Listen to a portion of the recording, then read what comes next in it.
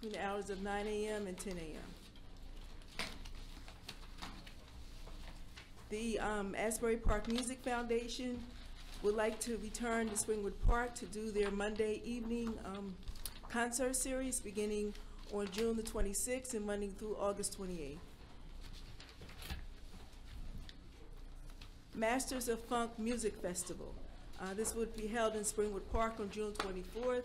I'm asking that the council just approve the date because there are some things that the Special Events Committee needs to approve regarding the entire, the logistics of the application.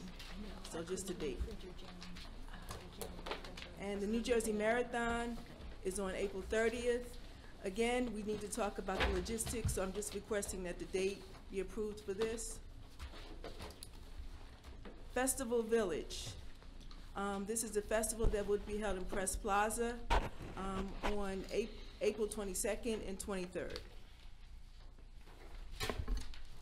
Clean Water Challenge is a request from Seacoast Missionary Baptist Movement Church to uh, just clean the boardwalk on April 29th. Uh, Asbury Park, the Rescue Ridge would like to hold their annual citywide yard sale on May 20th. Boo. I'm, I'm gonna be part of the yard sale, but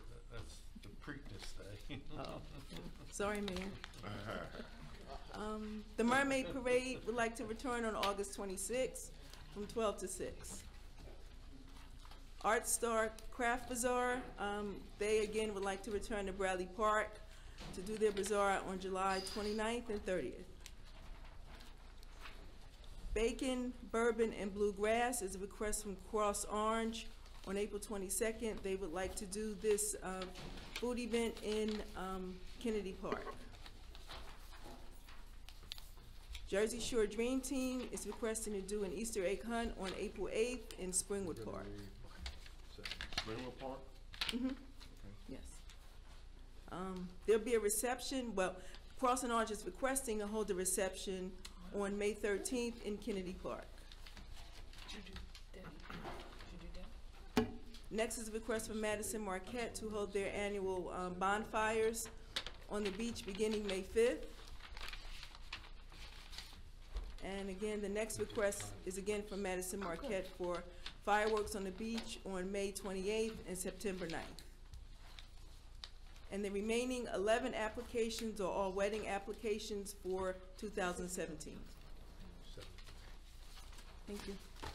Thank you, Alicia. Also, welcome back. Oh, thank to see you. you, Any questions? No questions? Next. All right, we'll move on to items to be presented by the city planner. Um, This is for a proposal for 1003 Bond Street for encroachment in public right-of-way for public parking for residential development.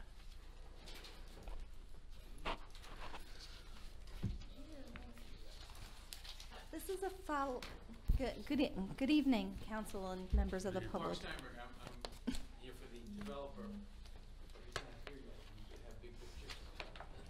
Well, he's got between now and 48, 42 minutes to get here. Oh, I- well, can you hear from Michelle? Do you want, I was gonna say, would you like us to come back to this, or would you like me to Well, There's begin? nothing else on the agenda.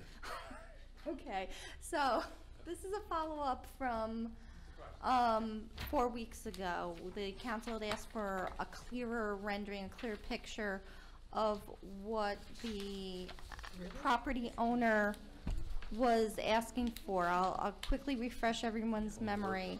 This is a condominium development. It received an approval from the zoning board of adjustment about ten years ago.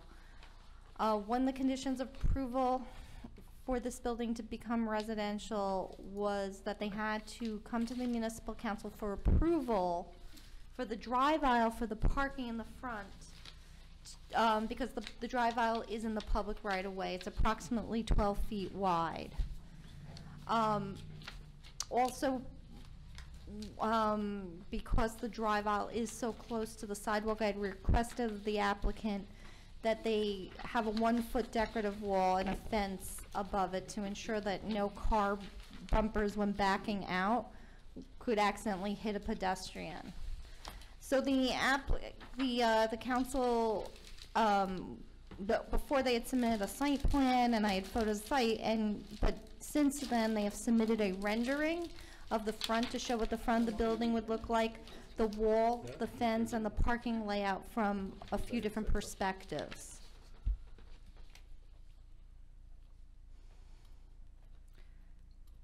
Okay, so, So you have the clear drawing, the applicant is requesting a twelve-foot wide easement for the drive aisle to access the parking for this residential development's conversion of a former convent to, into 18 18 residential units? Sixteen. I'm sorry, sixteen residential units. So how much of the right of way is belongs to the city? The whole drive aisle, The entire drive aisle? yes. The spaces themselves are on the applicant's property. You should have in your packet the, the, the site plan. Mm-hmm. Yeah. Eleven is. Hey, Mark, we, we, we can go on to the city manager's reports if you, if you want, because there's gonna be some questions in here as far as the could wait a few. previous agreement, so if you want us to go on, if you wanna go out and make a phone call and see where they're Yeah, at. I'm, a little surprised because I spoke to him yesterday and he, he had drawings and big photos. Okay, so I mean, Packages for you. no, thank you, Sean, I'm sorry, I apologize. I mean, there's very little we can go on to, but we can always, I'm gonna give him a call. we're here to seven, so we're gonna take a break, so we can wait for him to get here. I'll give him a call right If you now. wanna make a call.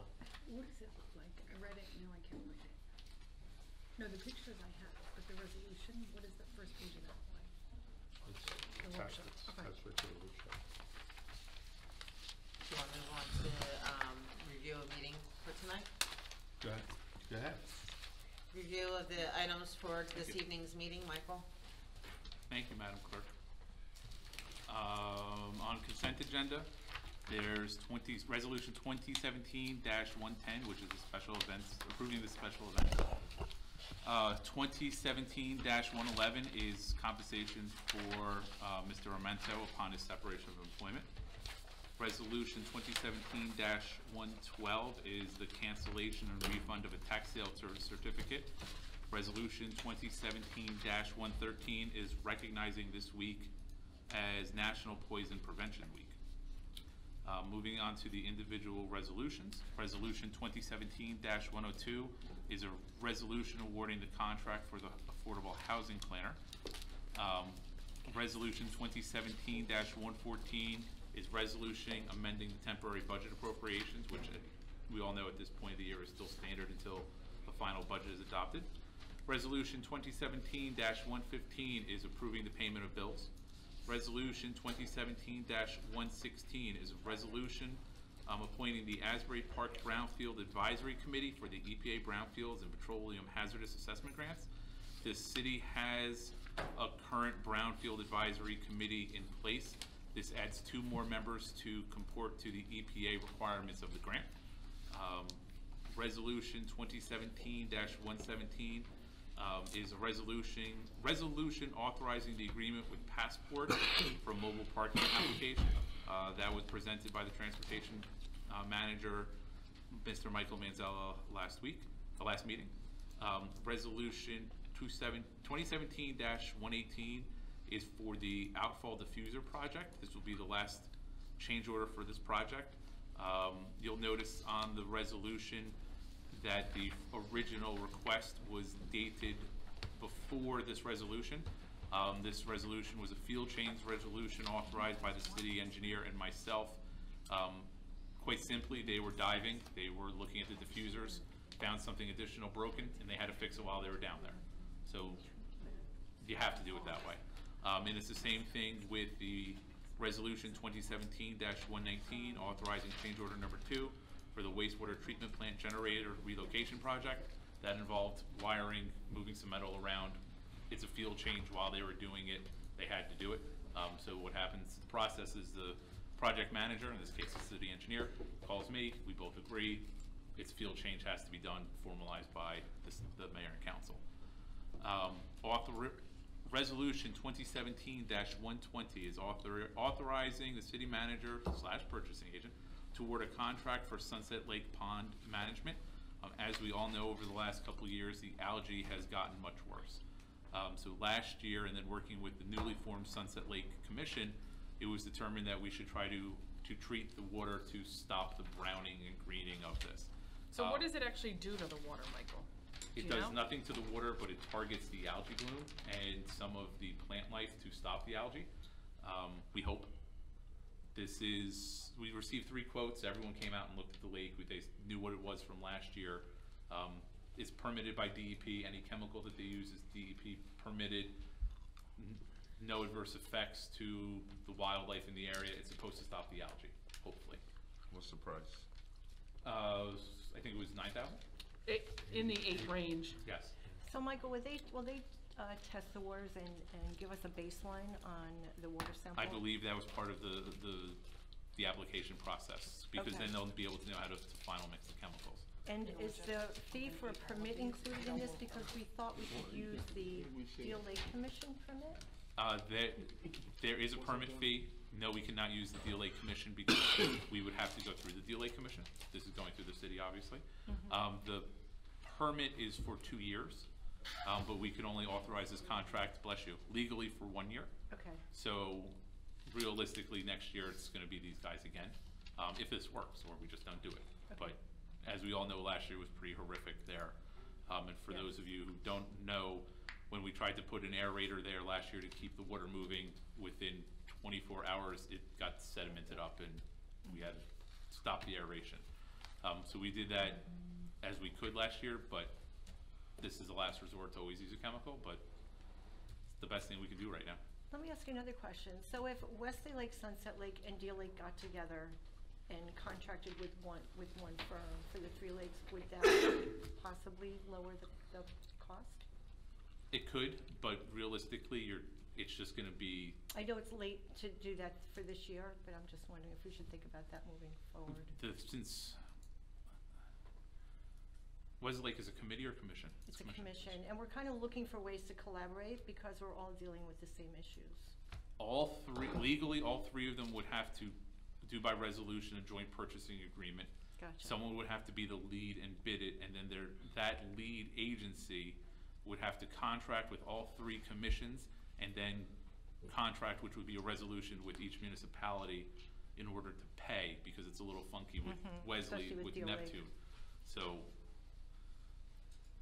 there's ways we can probably do it a little bit simpler and just bid them all at the same time, because the, the big cost is, is the staffing of getting the people here to do it. Mm-hmm. So, i- if that can be done better, yeah, it's not an issue. And I can talk to, to both Wesley and Deal Lake, that's not, moving for next year. Great. And then the other thing, Michael, you know, the Asbury, the Environmental Commission's currently like in the process of building floating gardens for Yes. Sunset Lake. So the, so the, these chemicals you know aren't, won't No, affect. we already checked that out, Amy. Oh, did you? Yeah. Fabulous, great. And putting up more grass around the lake. And putting up more grass. Yeah, but the, the, the floating gardens are like a process. We so we're wanted to starting make that sure now. that the chemicals didn't, didn't harm the, um, whatever was in those floating gardens. And it they won't, okay, I hope the floating gardens can float in six inches of water. we'll see. They might be walking gardens. Um, resolution twenty seventeen one twenty-one is execution of a shared service agreement with the Two Riv- Two Rivers Water Reclamation Authority for technical rescue services. All, um, water reclamation authorities, sewer, sewer authorities are required to have an agreement for confined space treatment, uh, services. Most, and Kevin, correct me if I'm wrong on anything, most of these authorities would just utilize the local fire department. And then sooner or later, the fire department's caught on because they don't have confined space training, and it is a trained certifiable position. Um, so the city has one. So here, we're using one of our assets that we have to work, um, with the Two Rivers Group to have our guys, our fire department, um, be able to provide confined space as needed. There is training involved. We do get obviously paid as per the resolution. Um, and Kevin also put in the rev- resolution that if the Asbury Park Fire Department is responding to confined space, if there is an incident there, um, and we have to call someone in, we bill for that. so there is no cost for the borough, for the city. Um, it also provides us some additional training opportunities, which is always a good thing. I miss anything? Um, for ordinances, oops, I went too far. Uh-oh.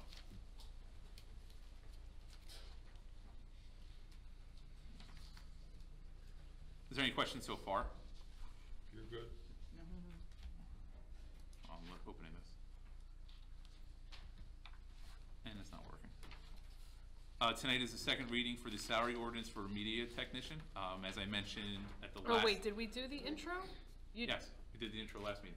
Thank you. Okay, so the only thing I'm gonna say is that there were some corrections made to 2017-14. so before we vote on them, I mean, I know it's an introduction, that's fine, but we should get an updated copy. There was like a typo, and then there was, we changed, um. I'll, I'll go back. Okay. Um, so for the second reading is The the, update was in front of us. Oh, okay. the update, I'm sorry, update.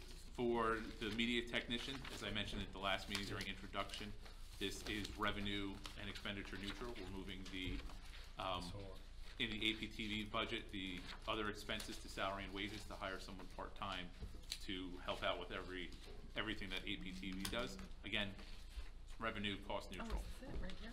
Um, Yeah.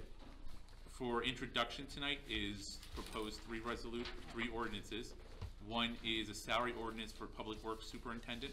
Um, this, this is not a new position.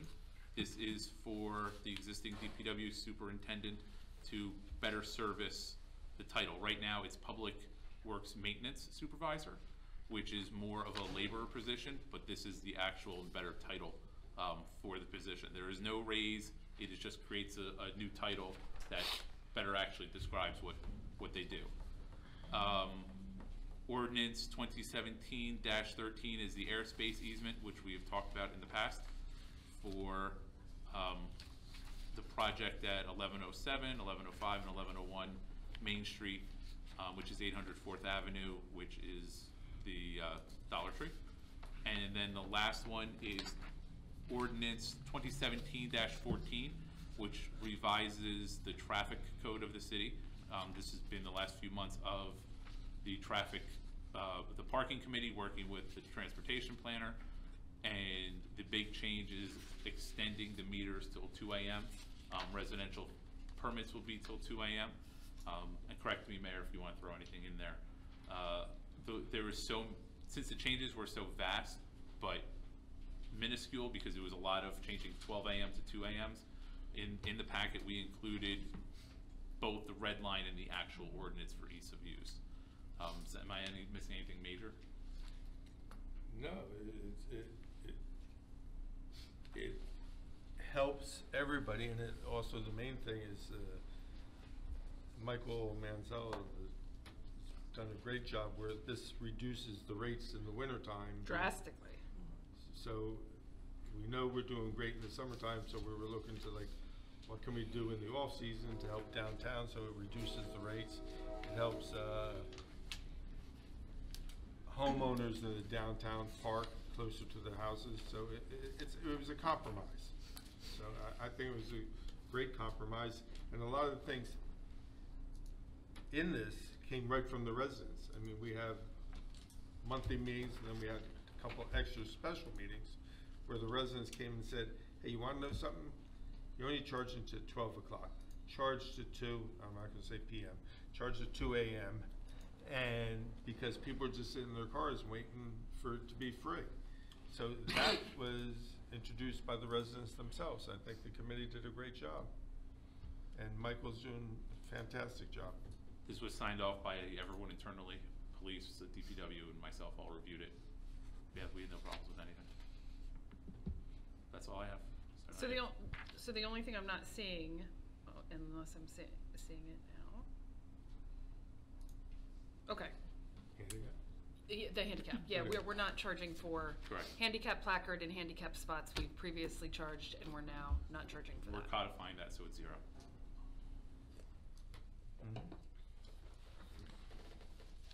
Okay, I guess we'll continue to move on, matters by the city council.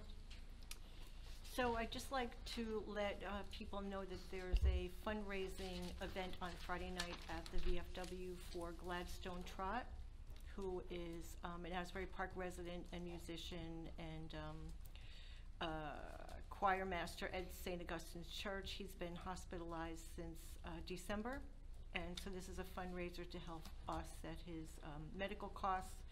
It is um, at 8 o'clock on Friday, and tickets are $15 or 25 a couple. And also, the Sunset Lake Commission is having a get-together at the Tides Hotel on Sunday from 4 to 6 for anyone who's interested in um, joining uh, a Sunset Lake committee and helping to clean up and maintain Sunset Lake and Park. That's it. April, I, our, the next expungement workshop is gonna be April first at eleven AM at St. Stephen's Church at the corner of Springwood and Prospect. And then on March twenty-eighth, the JET program, Junior Entrepreneurial Training Program, is gonna have their Shark Tank. So it's an opportunity if you want to see um, how our youth have been working in their program, and they're gonna be pre- uh, presenting to a panel what they're selling, and the panel will decide how much money they should receive for their project. And then on April eighth is Made in Monmouth, and that's when our kids will be selling their, their products, as well as many, many other people from, uh, Monmouth County. So it's a wonderful show, it's free, and it's at Monmouth University. And last, on April twenty-second, the Quality of Life Committee is gonna be sponsoring our next citywide cleanup. And we're gonna also introduce a new program called Free Cycle, which I won't explain right now, but we're gonna have, um, flyers out and there'll be something up on the website, so we're looking forward to people participating and we're also looking for volunteers. Thank you. This past winter, I came to our city manager, or spoke, asked him, would he, um, what can he do to help the crossing guards get rain gear? And, um, he was able to help the crossing guards get rain gear, and I thank you for that. I'm coming to you again to see if somehow or another that the crossing guards can get a raise. We have crossing guards that's been there fifteen years with the same salary, from what I understand, I could be wrong, but I'm pretty sure that's it. And the surrounding areas, it's, um, their crossing guards, I believe, make more than we do. And, uh, all these, all they're asking for is a dollar or two more. So if you can, you know, if you can find a way, good, I appreciate We'll it. look into it. All right, thank you. Uh, so APTV did a little PSA on the parking meters, so there's two brand-new parking meters and then a third kind of revised or updated meter of the ones we previously have on Mattison Ave. Um, and, listen, the, the, the meters are, are a necessary evil, but, but the kind of meters we get, that's something that we would be really interested in the public giving us some feedback on, what's user-friendly, what's bright, you know, we get consistent complaints about the meters that they don't light up, or they don't take money, or they don't take change, or they're hard to use, or they're not user-friendly.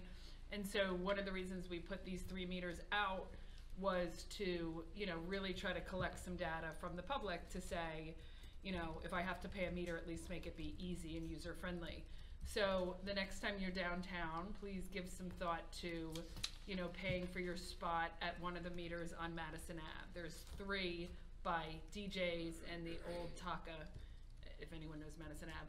Um, and then there is the ability to, you can one, shoot one of us an email and say which one you like the best, or, or our transportation planner. Or there is a website on the meter that is doing a survey. So these meters aren't going anywhere anytime soon, so if we want user-friendly ones, we just ask that you, you go out and use it next time. Um, and then check out the, the PSA and kind of gives you the highlights on what's different about the new ones, what's better, what's, you know, w- w- what's up with the meters. So, uh, feedback is greatly appreciated, um, on, on the three model meters on Mattison Ave. That's it. That's it? Okay, and I wasn't aware of it, but you sent me, uh, What'd you send me? Oh, A, a YouTube. I'm sorry? You sent me a YouTube. Yeah, it's, it's the How can we get- APTV YouTube. How can we get a Station. YouTube up on Facebook? I couldn't figure out how to do it. We'll share it on Facebook. Share it, because Yeah. then I can share it, because, and then we can all share it, because I, mm-hmm. I don't know what YouTube is, right? You got it? We'll take care of it. I'm challenged, so, I mean, so yeah, if you can do that. Yep. Because it was very, it's only three minutes, it was very, very good. Yeah, and if, the- again, the meters aren't going anywhere, so if you want a meter that's user-friendly, we, we would welcome the input from the public on which one of those three meters is, is a meter that, you know, old, young, you know, wh- everyone can use.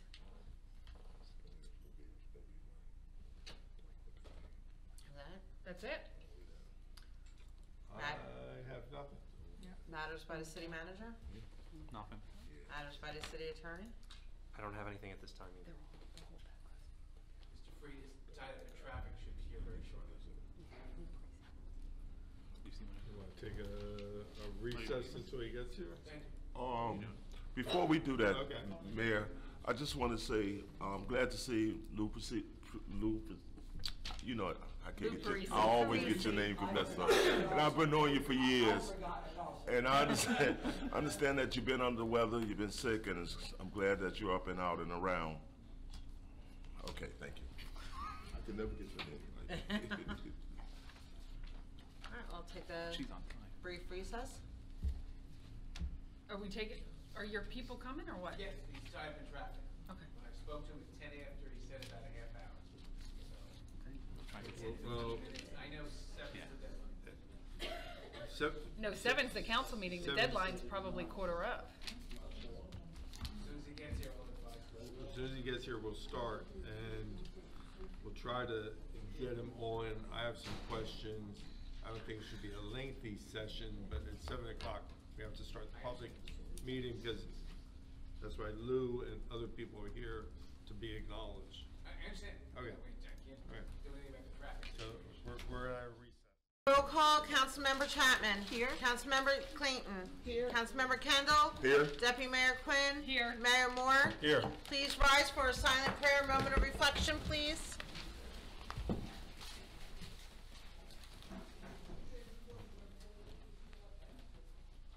Flag salute. Pledge allegiance to the flag of the United States of America and to the republic for which it stands, one nation, under God, indivisible, with liberty and justice for all.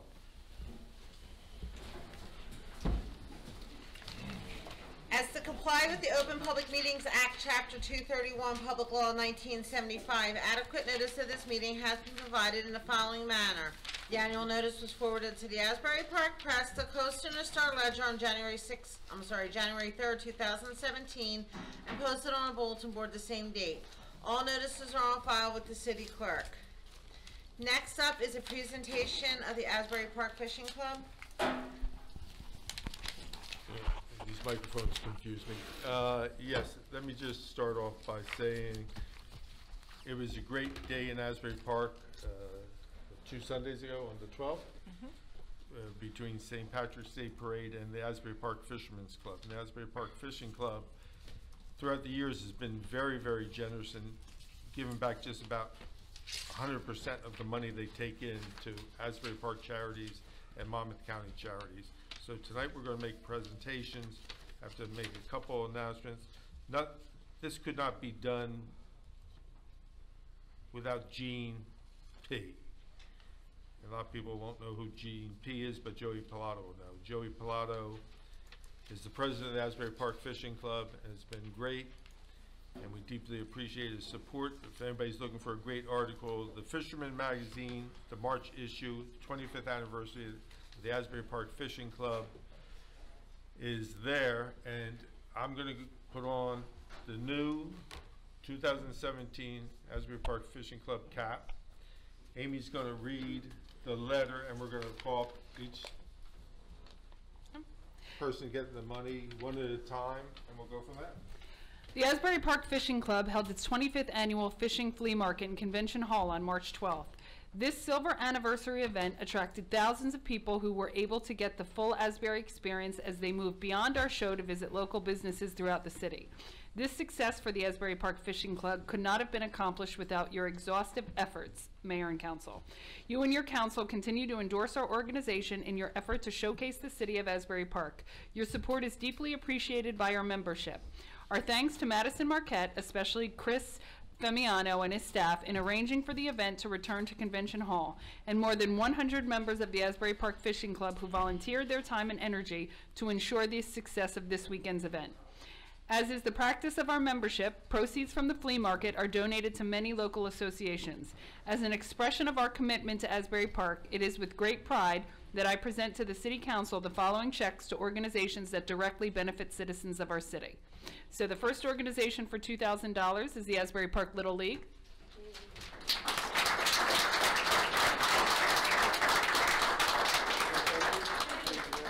Thank you. Well, you guys, thank Joey Pilato and the fishing club. Hey, why don't you all turn around and face Hannah and do a picture? We should all be on this? Sure. Thank you guys for showing up. Hold up, guys. I'm John.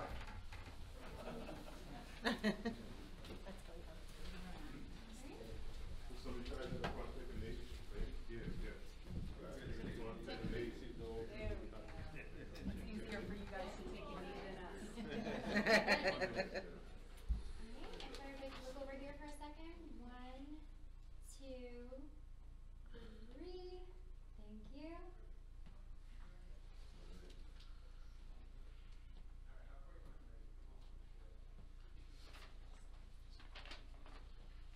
Good luck this year. Um,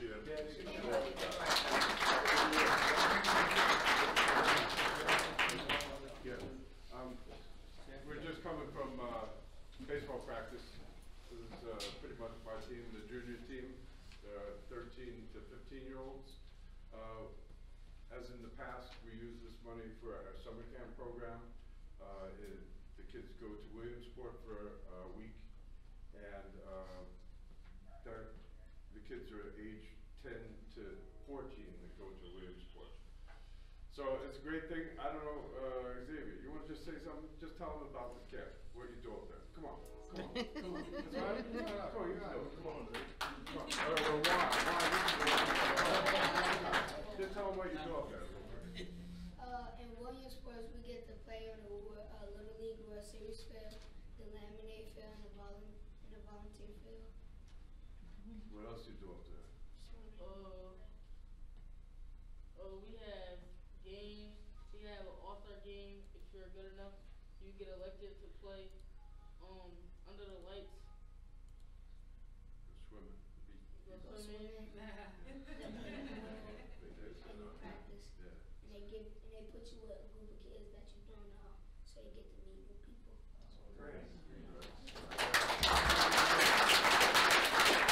I'm, I'm gonna tell you something else they do, and they, they do it and they don't even realize it. They send everybody thank you cards, personal thank you cards. And Joey Pilato and the fishing club saved them, and they mean very much to you, and that's why he gives to you guys, because saying thank you to people sometimes means the difference in life. So it's very nice to get those personal thank you cards, and we thank you. Thank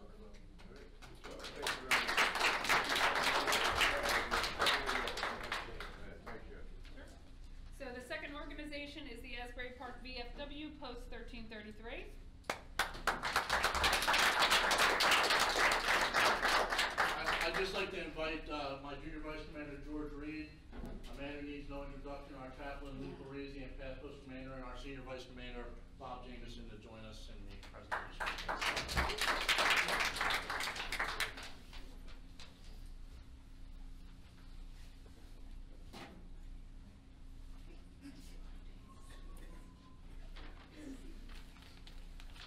On behalf of the Asbury Park Fishing Club, it's my privilege to present you this check for five hundred dollars. Everyone over here. One, two. Alright, one,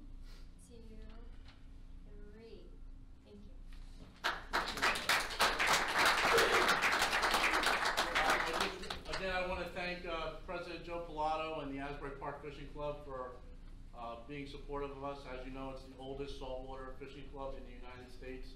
Um, certainly know that Little League certainly knows, uh, we sponsor a team annually and have done so for the last decade along with many other events, uh, within, uh, the Asbury Park community, often unasked. So, uh, the fishing club and the community can be assured that this money will certainly go to good use and we focus especially on the children of Asbury Park. Thank you.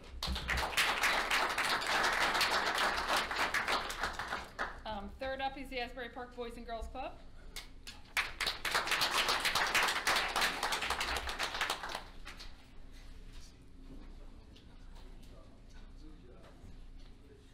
Again, it's by privilege, so we have the fishing club to present you a check for five hundred dollars. Alright, over here, please. One, two, three. So, on behalf of- I want to say something on behalf of the Boys and Girls Club, the executive director, Douglas Eagles, who wasn't able to attend, or regretfully couldn't attend. I'm Isaiah Jones, I'm the unit director, and, um, we appreciate the donation from the Park Fishing Club. We really appreciate it. Thank you so much. Thank you. All right, third up is five hundred dollars to Big Brother, Big Sister of Monmouth County.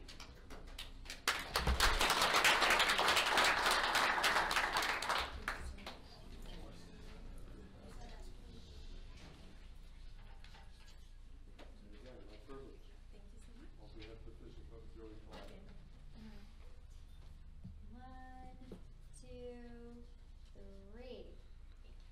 So I just want to say thank you so much. We're going to put this to great use in the community, providing mentors for the kids in our community. So thank you so much.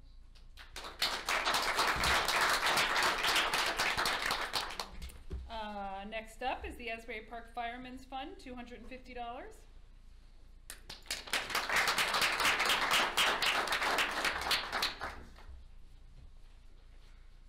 We have the fishing club, Joey Pilato, which is, I say the fishing club and Joey Pilato, it's the same. So, Thank you. I don't think, do we need a picture with, all right. Sure, sure. You never see him. One, two, three. And next up, oh. We're gonna give him a complex. I just want to say, I'm- I'm accepting this check on behalf of the Asbury Park Firefighters Association. Um, This money does not go to the fire department, this will go into the firefighters charitable trust fund and end up right back in the community through the various charities that they give to every year. So Great. Again, I want to thank Noah and the fishing club for their generosity. Uh, next up, Asbury Park PBA Toy Drive.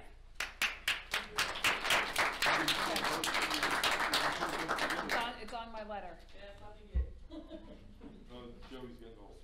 Sorry, both made out to the toy drive. We- You know, we have, we have two of them made us in Detroit Drive. Uh, Asbury Park Christmas in July and Asbury Park Toy Drive. Awesome. Thank you so Uh, much. in the amount of four hundred dollars. Thank you. Alright, one, two, three. Thank you. Uh, thank you, uh, to the fishing club, who's not here, but, um, they donate to us for the past several years. As people know, the toy drive is not just about toys, we do things all year round, where it goes to the boys club, Little League, um, backpack to school, Easter, Mother's Day, Father's Day, essay contest, so this will definitely help us out. Coming up, we have Mother's Day and Father's Day, so this is gonna help out, uh, to support those causes. And thank you for everybody else, and you guys do a great job too.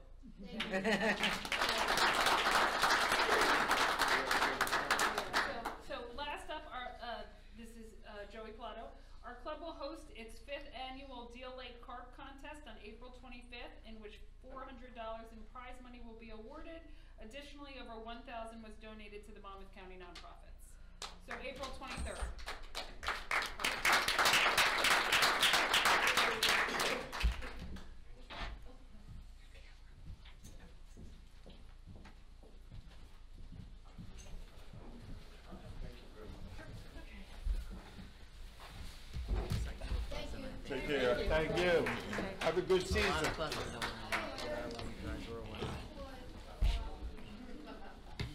Wow, just imagine if every special event in Asbury Park, which we have quite a few, gave that type of money back. Wow. Yeah. Thank you, Joey. Thank the fishing club. Thank you, Gene P. Next. All right, we'll now go to the public participation. Have a mo- motion to open the meeting to the public? Move it. Second. Each member of the public has three minutes to speak. When you come to the mic, please state your name and address for the record, please.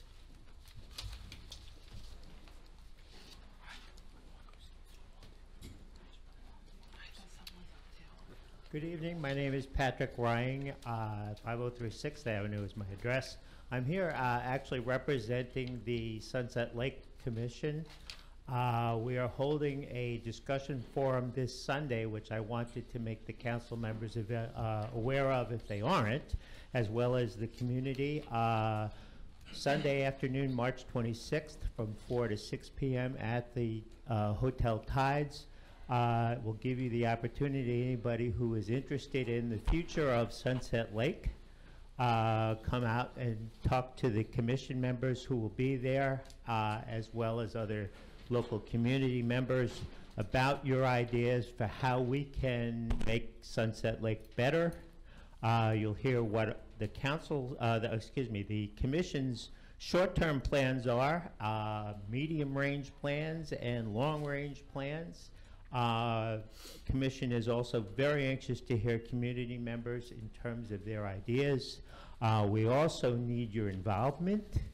Uh, We need you to volunteer and help with a whole bunch of projects that we have planned. Uh, So again, it's Sunday, March 26th, uh, at Hotel Tides. There's some flyers which I'm going to pass around, so take them with you. If you know other folks who are interested, please share with them, and hopefully we see you all on Sunday afternoon. Thank you. Thank you. Thanks, Patrick. No. No. Let's flip for it. Patrick, just so Hi. you know, we, we did make that announcement at the beginning of the meeting as Oh, I'm well. sorry. I No, didn't- that's okay. I'm No. glad you, you elaborated. You made it a lot more interesting than I did. Hi, Connie Breach, 1500 Third Avenue, Asbury Park. I'm just here briefly to, um, there's an item on the special events agenda that I just want to reiterate. It's uh, the citywide yard sale. This is the uh, the fifth year, I believe, we're going to be doing it. Um, As people know, we have the proceeds of the yard sale from the people that participate in it go towards two local rescue groups, the uh, Wagon Inn and Rescue Ridge. The last time we had this event, we had 39 uh, locations in town. This not only brings people from the town and its immediate area, but we've had people come down from North Jersey, from Philadelphia, because they come down to this event and then they stay here. They buy stuff from the yard sale, then they go downtown and eat. And it's been such a great, tremendous event, um, the last time we've done it. And I just, you know, hope you guys approve that. Um, we've raised over, over ten thousand dollars in the last few years, plus numerous, nu- numerous items for their dog and- and uh, cat rescues. So hopefully you guys say yes to that, and thank you. Thank you, and it is a great event, and I will be participating, even though it's on Preakness Day, which, you know, I'm gonna go in and out to watch the races, but I, no, it's, it's a great event.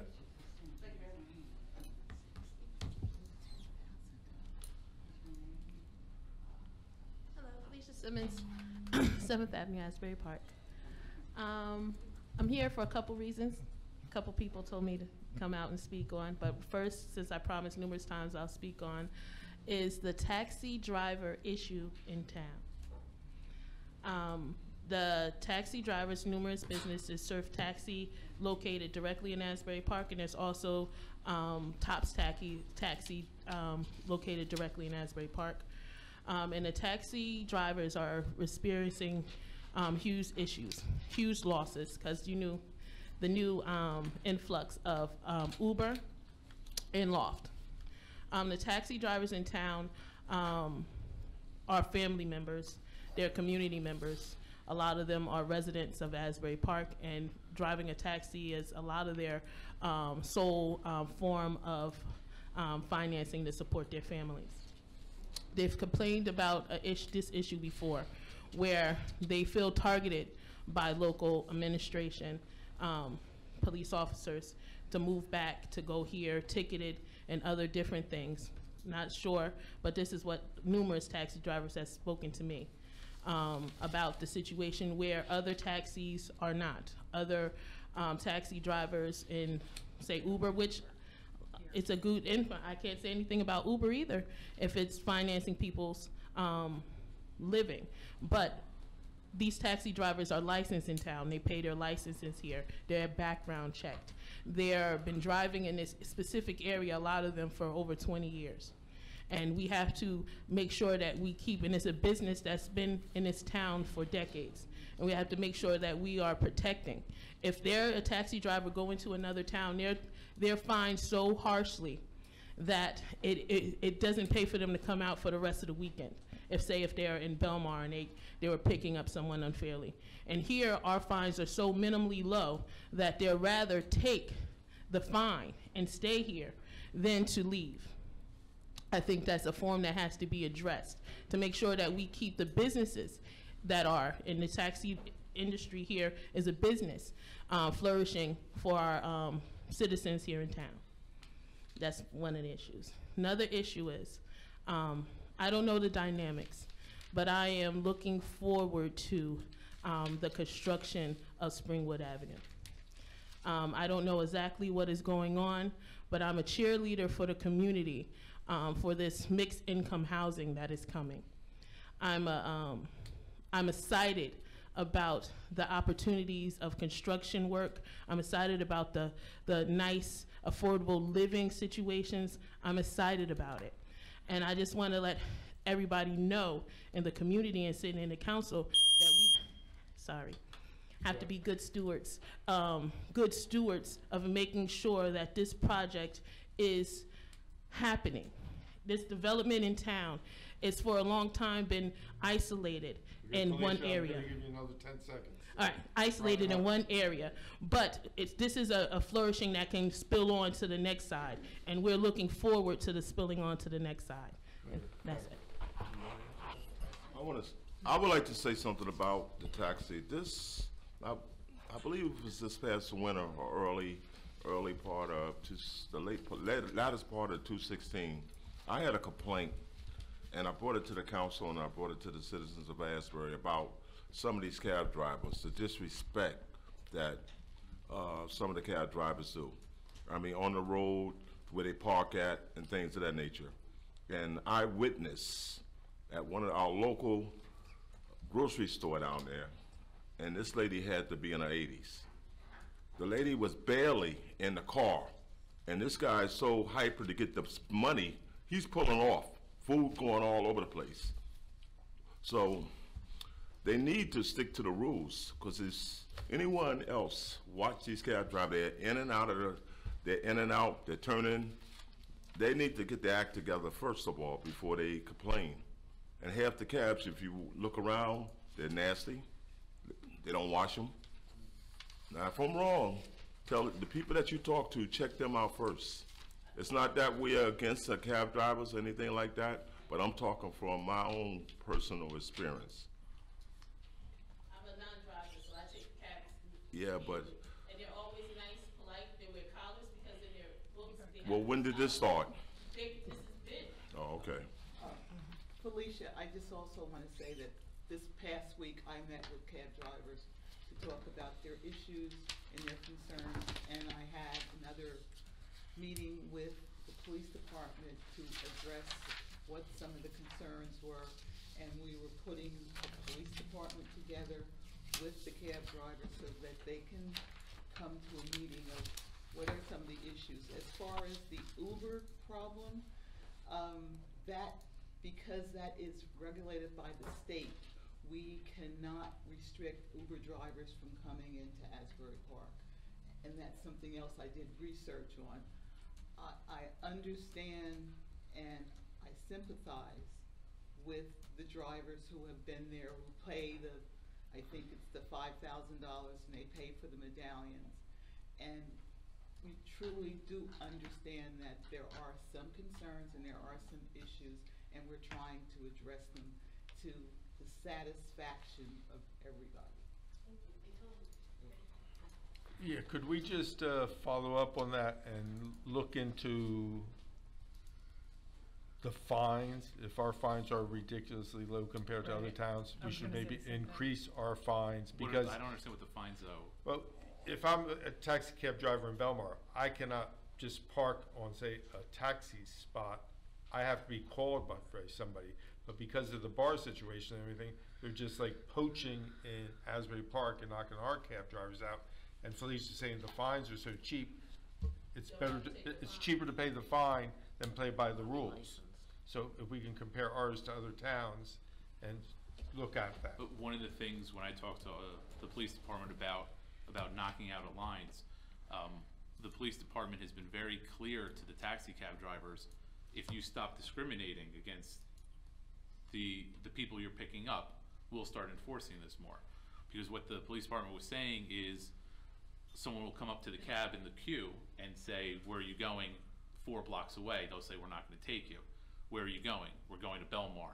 Get in, it's more, it's more expensive, obviously. So they're, they're cherry picking on who they wanna take and when they wanna take them, instead of just going the way it's supposed to be, it's the queue. And talking to the police department, they said that's, a- that's, when they meet with them every year, they tell them, stop doing this. Because it's, the- once it's queued up, you go. And that they're, the, the cab drivers allegedly aren't doing this. Uh, Okay, but I'm sorry. meanwhile. And, and we'll double check the fines. Let's look into the fines. Um, just as a person from here, you can call the cab, they'll come pick you, they'll take you, I go around the corner sometimes. They, they have no issue with picking people up, they have no issue. It might be another cab from another town, again, hence, there's different, there's about, in this area, maybe about six different cab companies. Locally in Asbury Park, there is Surf and Tox. Okay, Um, those w- are local okay, cabs. we're, we're, we're on it, and thank you Thank for you. bringing it to our attention. Thank You, I know Yvonne had met with him. Mark, Mark Steinberg on behalf of the Holy Spirit application. I would request respectfully if maybe we can get five minutes of workshop at the end of this meeting so that we can move forward on this application. It would, it would be up to you. I know Mr. uh, Mr. Freed just came in at seven o'clock. The problem is with Holy Spirit, we want to get this application going. This is one of the last items. And right now, he, he doesn't have gas, he doesn't have, uh, electric, and he's heating by propane to, so that, so that pipes don't freeze. And everything's vacant. So if I could maybe give us five minutes at the end of the I, meeting? I think it was asked and, and there was a poll, you know, there was asked and there were not three votes to e- end city council, go back to workshop. And we didn't, I mean, we gave 45 minutes of being late. So, so I, th- I think we, we absolutely tried. I understand traffic happens. I'm sure you'll be on the next agenda. No, no question about that. But, you know, we, we gave 45 minutes. We had to start this at seven and I'm sure Michael and, and Michelle will get this on the next agenda, because to be honest with you, I alone have five minutes worth of questions. This isn't gonna be five minutes. All right, thank you.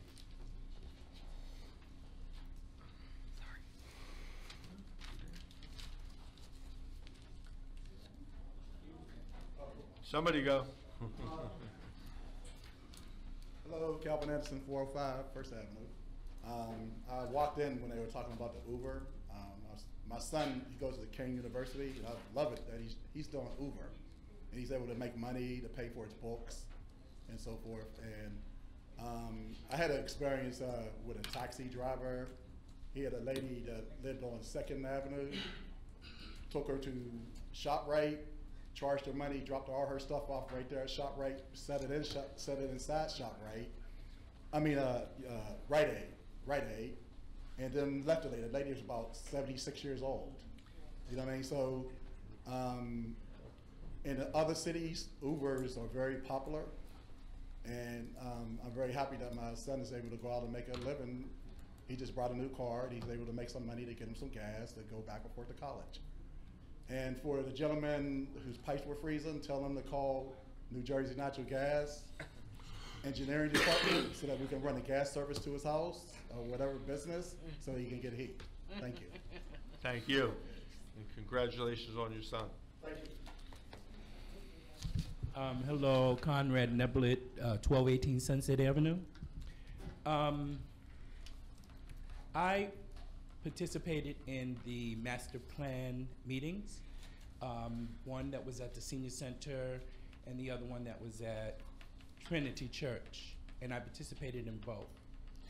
And the first one that I went to um, when I when I came in, I immediately wanted to turn around. And I was so um, disappointed and so hurt uh, that none of the facilitators were people of color. None of the people in the stations were people of color. They were all white. And I started to leave, and I said, No, Conrad, don't leave. I have to address this. I have to address my concern and my anger, because I was very angry. Um, so I stayed. And I spoke to, uh, I believe her name is Hannah of the Communications Department, and I shared my concern about it. And I asked that she get back to me to address it to the council or, or to or to whoever needs to be spoke, you know, addressed. And I never got a call back. And I made a request that she um, handle it before the next meeting so that this doesn't happen again. For me, it's like, it's an amazing thing to include the community in the planning of this community. And I didn't see me. I didn't see me addressed. I didn't see me, you know, I didn't see anyone that looked like me. Um, and that bothers me. I'm, I mean, I moved to this town because it is a town of diversity.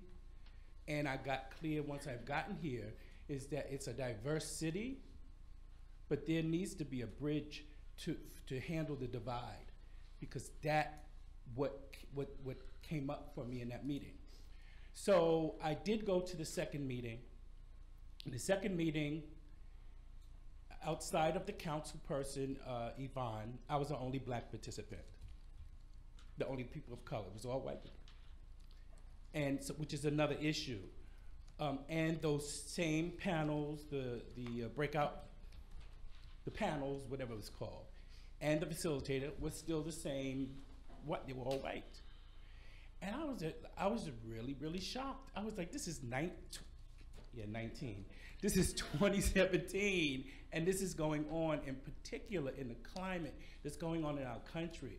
And it's like, I just was like, I can't believe this is happening in Asbury Park. And so I did have a long conversation with Yvonne, and she promised that she would follow through, and I, I believe she will. Um, and so I am approaching you guys. What is going on that that existed? It is not, for me, it's not acceptable that people of color were not included in the process. And I'm coming from saying not included in the process, I'm just going from what I saw. Okay. Leads me with that impression. And so, th- were you aware? Well- That, that's the question I'm left with. Were you aware that that existed? I, I, I went to both, I so saw I you. saw what was there. Let us get back to you after, I think we asked for volunteers, and we- you get what you get. If people don't volunteer, you, you can't, who- you can't force them to. Yeah, but who do you, who, you know, That- there's, that- there's a don't- I- difference between asking for volunteers and who you ask. Well, And is there an, int- was Okay, there an Conrad, I'm gonna, I'm gonna cut you off, just because your three minutes is up. Let the city manager look into it, and we'll get back to you. When? When he Because, um, and I'm asking specifically because I asked, I was, I was, I was, you know, I was going through the process because your communications director, I thought would be the person to speak to, and she did not follow through. okay, And so that was quite a while ago that that meeting was. So I'm concerned of getting, uh, we'll get back to you. I'm not trusting that. You- you'll So get I'm it- asking you for a specific date that you're you- gonna you'll get back get to an answer within a week. Okay. Correct, And, Michael? and you did, and the question, were you aware? That, You'll, that, you'll get. you all- were there. You'll get all the answers within a week. So publicly, you're not gonna say that you were, were or were not aware. You'll get all the answers within a week. I showed up to this, uh, Springwood Avenue event just like you did, and I participated. And again, Mike will get you all the answers within a week. So you didn't notice it like I noticed it. I notice everything. Okay. And it's okay. I tried- So I tried to- it And it's okay with you? I tried to notice anything. Conrad, your time's up. Your time's up. Yeah, but you just didn't give me any answer. I gave you an answer. You'll get an answer from the city manager within a week, and now your time is up. Please. So Conrad, So- your time is up. I got it. And But you just keep on so speaking. let me just say this. No, one I'm not gonna let you keep on speaking. I'm speaking. just asking you. Let me say this one point. Your, your I time is don't up, Conrad. appreciate you shoving me off. It's it's negative. I'm not shoving and you it off. adds It- to. it- you get the same I got three it, and minutes it as adds everybody to else. it adds to what has happened. And you got an answer, you'll get an answer. No, I didn't get an answer. I, I feel You got an answer you can't accept. You didn't give me an answer. Oh, within a week is I not. asked you.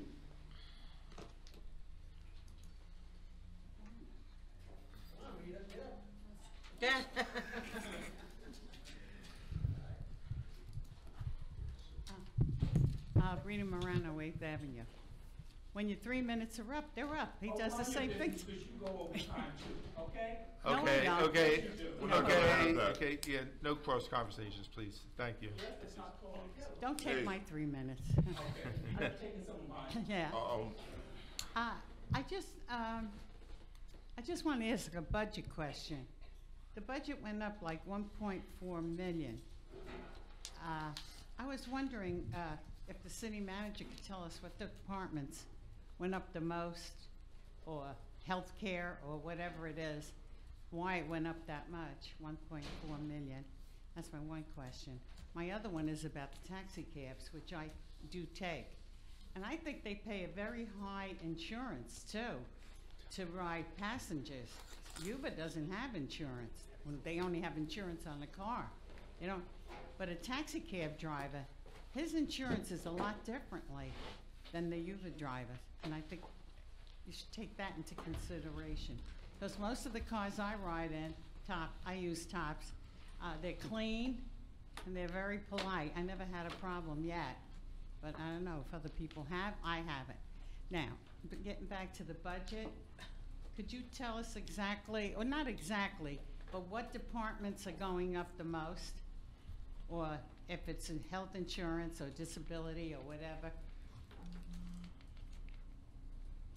Let us know when you're done with your three minutes. Okay, I'm done. You're done? Okay, Michael? I'm trying to find it. Oh, So am I. Well, health insurance definitely was one of them. who? Health insurance was definitely one. Well, what are we doing about it? We're paying it. We're the state health plans as per the state MOU. Well, I mean, are the city employees paying towards it? Rita, Yes. your three minutes are up. Okay. I didn't use them well. Yes, as, Okay, as, well. if as we it's talked not- about last year, everyone in the city pays the, the maximum amount. We're in year four of chapter seventy-eight. So yes, everyone pays into their health benefits. It is regulated by the salary you earned and the formula that the state came up with. So everyone pays the maximum amount that the state is requiring. And I don't, I can't find the Here, sheet that has the, here. You want this? no, that's not that one. Okay.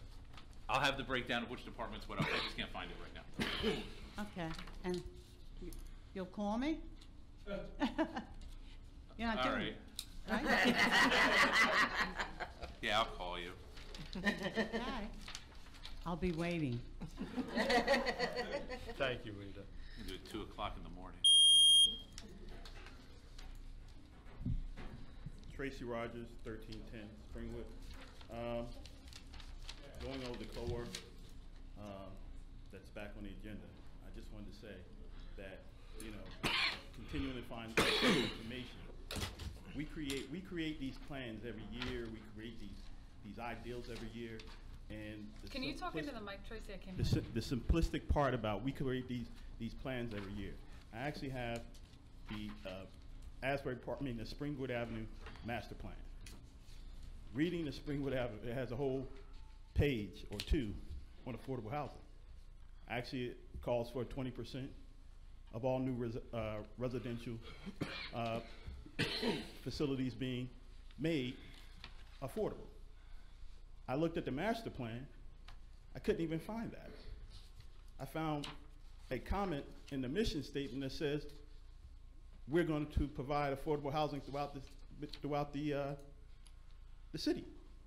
So where are we looking at paying someone to do these same plans over and over, and when's the action behind what we're doing?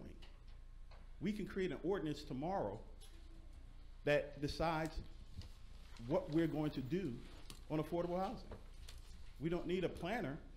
We know what our obligations are.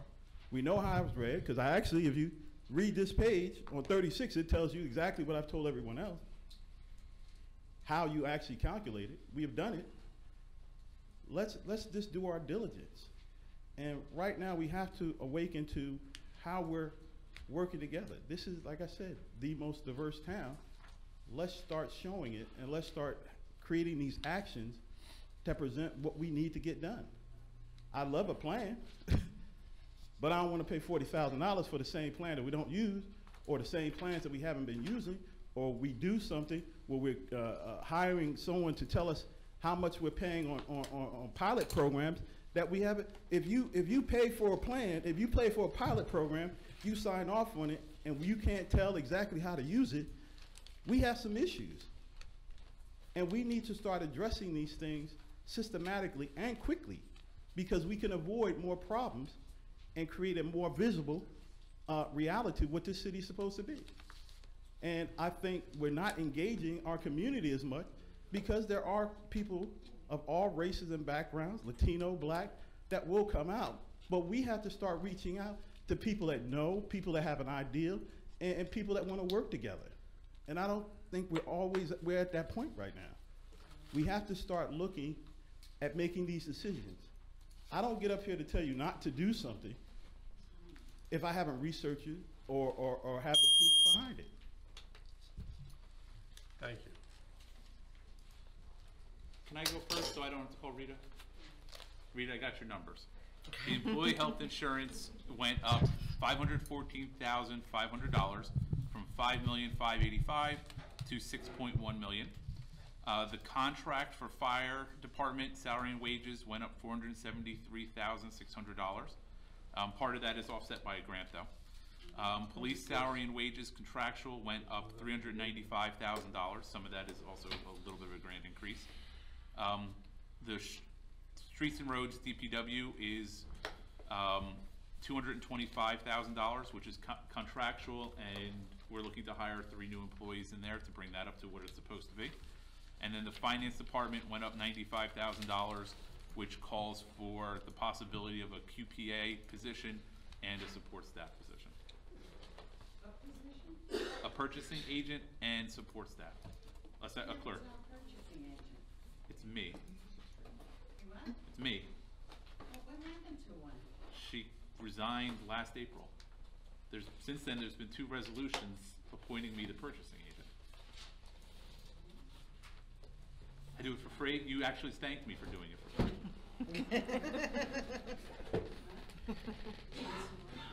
Thank you. Uh, can I interrupt for a minute? Mike, do you have any answers for what Tracy is saying? No. No, I don't have anything. No response? No. Okay. Michael, no wonder the bill resolution went up, Oh, I'm glad I can review. Sorry, Werner. Okay. Uh, Werner Baumgartner, Fifth Avenue, uh, city historian and advocate for public spaces tonight. I was uh, looking at the agenda and I was looking forward to hearing the discussion about the easement that's proposed to be granted for uh, the development you're considering. Um, As you know, I've addressed this issue before. I am uh, vehemently opposed to privatizing public property for development or other purposes unless it's absolutely necessary. Now, you might argue that this is absolutely necessary to create parking. I'm not sure of that, and I will tell you why. Uh, nu- number one, uh, just to back up a second, uh, our city code does allow for the use of public property to traverse in order to get in and out of parking lots. Otherwise, none of us would be able to enter or exit our properties. You can actually park a vehicle with the vehicle on a paved area within a city right-of-way, as long as it's designated as a driveway and doesn't impede uh, pedestrian flow. What this does, however, is this encloses the space in a fence and effectively privatizes public property, and that's what I have issue with. So I'm not sure if you're considering a, uh, a paid uh, use agreement where a fee is paid to use public property for private purposes. I think that's appropriate to consider. But I think mostly, I think the bigger picture is that this property is directly adjacent to the Main Street redevelopment area. Now, what happens when Main Street gets developed? You're gonna have to increase parking. How do you increase parking? Well, you create diagonal spaces where there are currently uh, parallel spaces on the first block off of Main Street. That would be this block. So from Main Street to Bond, there are now parking spaces which could be probably doubled or even tripled by creating diagonal parking there. My concern is that nobody's looking forward to the future. What happens if you grant an easement for this project? You can't put diagonal parking there anymore. You can't increase the parking. So I think you need to really um, look at these applications in a greater context besides just accommodating the development that's being proposed. You need to look at it in the bigger context of the redevelopment area that's directly adjacent, the increased needs of parking that Main Street is going to experience, and perhaps maybe the developer would agree to an off-site improvement and actually pay to make diagonal spaces there instead of taking public property for free via an easement. Maybe you could charge them for resident parking permits and make some money out of that. So there are uh, a multitude of different ways to look at this aside from just saying, oh gee, we want to take public property and please let us use it because we need it to park on. Thank you. Thank you. Any thoughts? A question. Sure. What ordinance are you talking about tonight? Um, there's an ordinance uh, that deals with uh, use of uh, public right-of-way. Um, you cannot park in a public right-of-way. That covers sidewalks and. I, I uh, think that was on the work session that the guy got up and said, will we hear it? And we didn't hear it. So I think that's, that's not an ordinance. I think that was a, Here, here what? the proposal on the work session. The only ordinance tonight, as far as, that I know, of, the- no, The other, um, the only thing is, eh, thing is the awning. is the, the airspace at the dollar store. No, the, the presentation that you were gonna hear from Michelle not an and the ordinance. developer. Okay, right, but that's not on tonight's agenda. Oh, I know, but I Oh, didn't. you said there was an ordinance. We No, haven't, no, we there's- haven't even listened to it yet. I'm, I'm informing you that in relation to that presentation, there is an ordinance that allows a vehicle to be encroached in a public right-of-way via a driveway. And that this application that you're entertaining for this development would not apply because they're taking the space to actually create a parking lot Okay. and enclosing it in a Good enough. fence. Good So, enough. In- apples and In oranges. two weeks, when he comes Yeah. to the work session, Okay.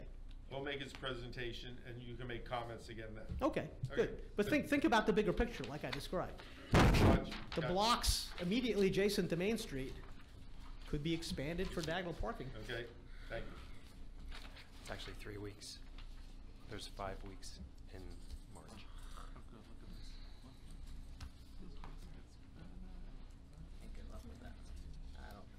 Hi, uh, Ernest McNolly, 400 Deal Lake Drive, uh, Santander. Uh, I've been a uh, homeowner in Asbury for 10 years, uh, certainly a taxpayer for sure. And uh, I must say that in my studies of the city, city government, and what's going on here, I think it's common knowledge that I'm not happy. The problem is, I can't seem to find a vehicle other than a three-minute, without a table, without an opportunity to have some legal back and forth dialogue, and at best getting what most people get, we'll get back to you. Uh, it's not working. Uh, crime is out of control here. There's violence everywhere. People are being shot. Uh, projects are failed. Buildings are crumbling. Uh, no matter what you report, it's no answer. You, you, everyone on that council, everyone in front of me, receives emails from me constantly because it's as safe as I could get to not coming to a place like this. I feel safer, safer in this venue where I send things instead of coming here because, like I hear with whoever comes up who has a difference with any of your philosophies, we're kind of like just put off, your three minutes are up, just go away, pay your taxes, live in a dangerous city, don't go out at night, skip over the condoms, vomit, gunfire, people dead, and let's just all have another parade. I mean, when is, when and what vehicle do citizens have other than coming in, thankfully, we're on some kind of publication here, which helps a little bit, but I can't get anything except adversarial from the city manager, from the city attorney, from the deputy uh, uh, city manager, from the council, from anyone. Not even from you, Mayor. It's like, I'm, I'm paying the bills here, and I don't like the way you guys are spending it. I don't like to have to sit and listen to a city manager say, well, we're hiring here, we're hiring. This is a semi-bankrupt city, let's face it. The roads you can't even drive on. I mean, what charade are we playing here? I, I just don't get it. I don't, I don't get it. I can't go out at night. You can't enforce laws about public alcohol, public drugs. People are pulling guns and robbing stores in the day. The police aren't accountable. You call them, they don't do anything. I have 15 seconds. H- how do you approach this logically? Look at this report I have on Convention Hall. How dangerous it is. This is from Madison four years ago and say they're going to fix everything. You go there now, it's crumbling. The lamp. That's what I mean. You can Three finish your sentence.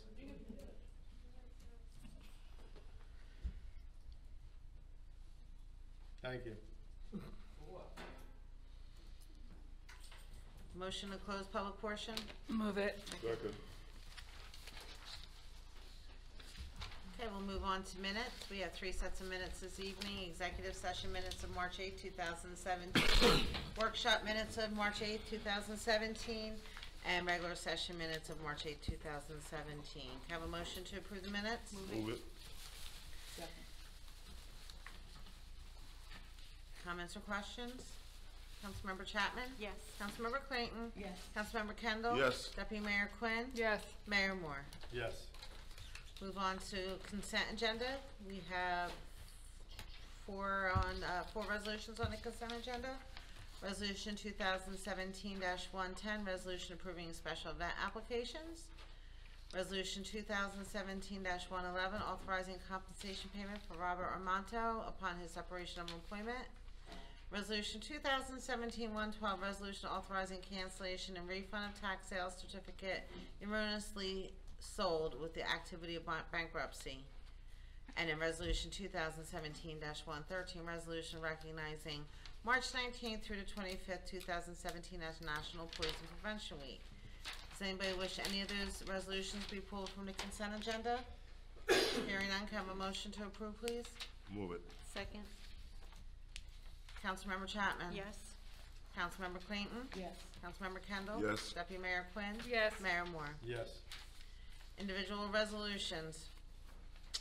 Resolution 2017-102, resolution awarding contract for affordable housing COAH planner. This was tabled from the last meeting. Can I have a motion to approve, please? Move it. Second? Any comments or questions? Councilmember Chapman? Yes. Councilmember Clayton? Yes. Councilmember Kendall? Yes. Deputy Mayor Quinn? Yes. Mayor Moor? Yes. Resolution 2017-114, resolution amending temporary budget appropriations for 2017 budget. Can I have a motion, please? Move it. Second? Any comments or questions? Councilmember Chapman? Yes. Councilmember Clayton? Yes. Councilmember Kendall? Yes. Deputy Mayor Quinn? Yes. Mayor Moor? Yes. Resolution 2017-117, or 115, resolution approving the payment of bills. Councilmember Chapman will be abstaining from purchase order 17-00308 and 17-00351. Can I have a motion, please? Move it. Second? Any comments or questions? Councilmember Chapman? Yes. Councilmember Clayton? Yes. Councilmember Kendall? Yes. Deputy Mayor Quinn? Yes. Mayor Moor? No. Next is Resolution 2017-116, resolution of the Mayor and Council of the City of Asbury Park appointing the Asbury Park Brownfield Advisory Committee for the EPA Brownfields and Petroleum Hazardous Assessment Grants. Can I have a motion, please? Move it. Second? Any comments or questions? Councilmember Chapman? Yes. Councilmember Clayton? Yes. Councilmember Kendall? Yes. Deputy Mayor Quinn? Yes. Mayor Moor? Yes. Resolution 2017-117, authorizing an agreement with Passport for mobile parking applica- application. Motion to approve, please. Move it. Second. Any comments or questions? Councilmember Chapman? Yes. Councilmember Clayton? Yes. Councilmember Kendall? Yes. Deputy Mayor Quinn? Yes. Mayor Moor? Yes. Resolution 2017-118, resolution approving change order number two for alcohol diffuser project. Have a motion, please. Move it. Second. Comments or questions? Councilmember Chapman? Yes. Councilmember Clayton? Yes. Councilmember Kendall? Yes. Deputy Mayor Quinn? Yes. Mayor Moor? Yes. Resolution 2017-119, resolution authorizing change order number two for the wastewater treatment plant generator for relocation project. Have a motion, please? Move it. Second. Any comments or questions? Councilmember Chapman? Yes. Councilmember Clayton? Yes. Councilmember Kendall? Yes. Deputy Mayor Quinn? Yes. Mayor Moor? Yes. Resolution 2017-120, authorizing the city manager slash purchasing agent to award a contract for Sunset Lake Pond Management. Have a motion, please? Move it. Second. Any comments or questions? Councilmember Chapman? Yes. Councilmember Clayton? Yes. Councilmember Kendall? Yes. Deputy Mayor Quinn? Yes. Mayor Moor? Yes. Resolution 2017-121, authorizing execution of shared services agreement with Two Rivers Water Reclamation Authority for technical rescue services. Can I have a motion, please? Move it. Second. Any comments or questions? Oh, Is that for the public or for just for the? Just for us. Oh, Councilmember Chapman? Yes. Councilmember Clayton? Yes. Councilmember Kendall? Abstain. Deputy Mayor Quinn? Yes. Mayor Moor? Yes. We're now on to ordinances. The first ordinance for introduction this evening is two thousand seven twelve, an ordinance establishing salaries, establishing salaries of certain employees within the city of Asbury Park, Monmouth County, New Jersey. Can I have a motion to introduce ordinance 2017-12? Move it. Second. Councilmember Chapman? Yes. Councilmember Clayton? Yes. Councilmember Kendall? Yes. Deputy Mayor Quinn? Yes. Mayor Moor? Yes. This public hearing for this ordinance will be scheduled for April 12, two thousand seventeen. Ordinance 2017-13, authorizing the city of Asbury Park to convey an easement over certain portions of the right-of-way area, airspace adjacent to the property located at 1107, 1105, and eleven oh one Main Street, block 80 2804, lot five point oh one, formerly known as Block 2804, lots 5, 6, and 7, respectively. Can I have a motion to introduce ordinance 2017-13? Mo- Second. Councilmember Chapman? Yes. Councilmember Clayton? Yes. Councilmember Kendall? Yes. Deputy Mayor Quinn? Yes. Mayor Moor? Yes. Public hearing for this ordinance is scheduled for April 12, 2017. Ordinance 2017-14, an ordinance of the City of Asbury Park revising Chapter 7 Traffic of the Code of the City of Asbury Park. Can I have a motion to introduce this ordinance, please? Move it. Second. Councilmember Chapman? Yes. Councilmember Clayton? Yes. Councilmember Kendall? Yes. Deputy Mayor Quinn? Yes. Mayor Moor? Yes. Public hearing for this ordinance is scheduled for April 12, 2017. We're on for second hearing, public hearing, ordinance 2017-11, an ordinance establish, establishing salaries of certain employees within the city of Asbury Park, Monmouth County, New Jersey. Have a motion to open ordinance 2017-11 to the public? Move it. Second.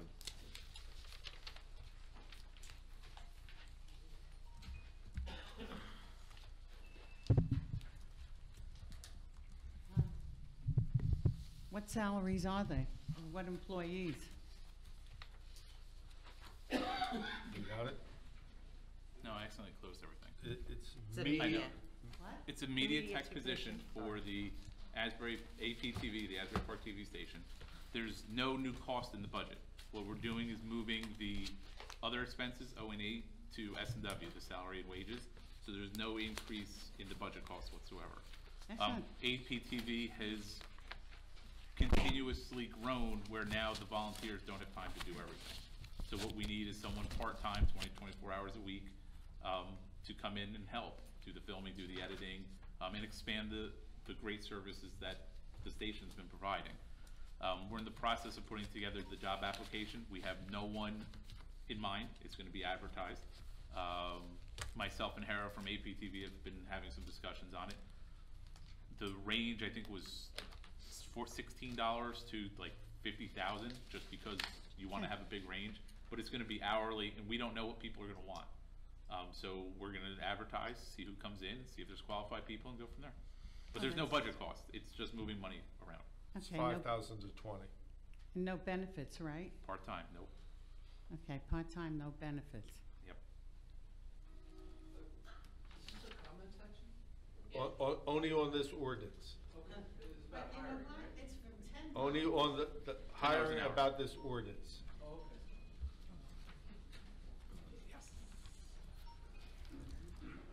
Just had a question uh, uh, on the ordinance, ordinance, terms of passing and voting, et cetera. You know, every time I sit here, I, I never hear anything other than yes. I hear a lot of money being proposed for this hire, and, uh, I, I, just wonder, how many more employees? I- I- Ernest, you, you asked me twice, and you asked, like, what are we talking about? Well, we're talking about hiring for this ordinance. I, it- Correct, so, but your, your, your comments cannot be general, they have to, per- and Fred, you're the attorney, correct me if I'm wrong. You have to stay to the ordinance at this discussion. Could there, could there be, for this ordinance, a no hire?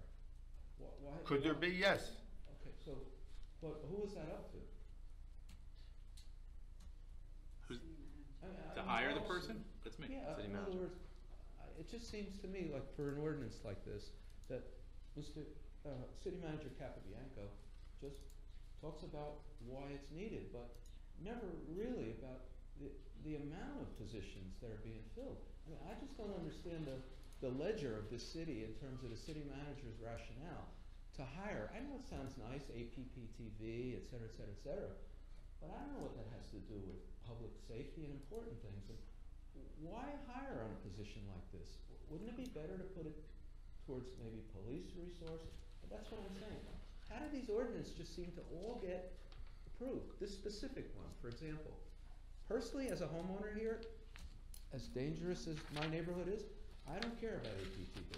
It Fif- doesn't. Fifteen minutes ago, you praised it, that you were on TV. I never praised anything. You misunderstood no, me. yes, Who you did I did. praise? I- As the city manager explained, th- there is no increase in the budget. There is a line item for APTV of twenty-five thousand dollars in the last two years, and the line item is the same three years later. Now, if money's being transferred from O and E to personnel, so we can continue APTV, that was a policy decision made by council. Uh, Taxpayers have no say, obviously. I, I, I mean, I just think the city, for a position like this, should be in some kind of freeze. It doesn't matter if you take it from somewhere else, I mean, we seem to be now having someone for every, for everything. Too much. So I would say on this, uh, no hire, it doesn't matter where the money is allocated from. But I just tend to only hear yes, yes, yes, yes, yes, and how really nice these, this position is. But me personally, as a homeowner resident here, I don't really care about APTV. I would rather fix up some ruts, take care of some criminals and law enforcement. And for that, I say take the money from somewhere else. But for, for TV, entertainment, et cetera, I don't see it. That's my comment, thank you. And uh, by the way, Mayor, you said I, I praised something, I just missed what I praised. I, I thought during your first He did, he said it's a good thing that this is on TV Right, because y- this is only out In your first presentation to the microphone, you said, thank goodness this is being taped by TV or something, something to that effect. You can, we can all watch it in two days and see what you said. Oh, no, the, the minimum, I don't, I think all proceedings should be recorded, that's all I meant. Yeah, I don't really. But w- if if we run out of volunteers, are you gonna, do you want to volunteer to work for APTV? No, I'm not too familiar with the staff there. I don't- Okay. I don't really care for what they do, but if you ever need anything for surveillance of the municipal building, I'll volunteer. I'll even chip in some money for equipment. The court isn't surveilled. Okay, Ernest, okay, That's my we're, speech. okay, we're straying from the ordinance, thank you. Motion to close public portion for two thousand seventeen eleven. Move it. Second. And can I have a motion to adopt ordinance two thousand seventeen eleven? Move it. You better hope Jeffrey. Can I have a second? Yvonne seconded. Second. Councilmember Chapman? Yes. Councilmember Clayton? Yes. Councilmember Kendall? Yes. Deputy Mayor Quinn? Yes. Mayor Moor? Yes. Motion to adjourn? Move it.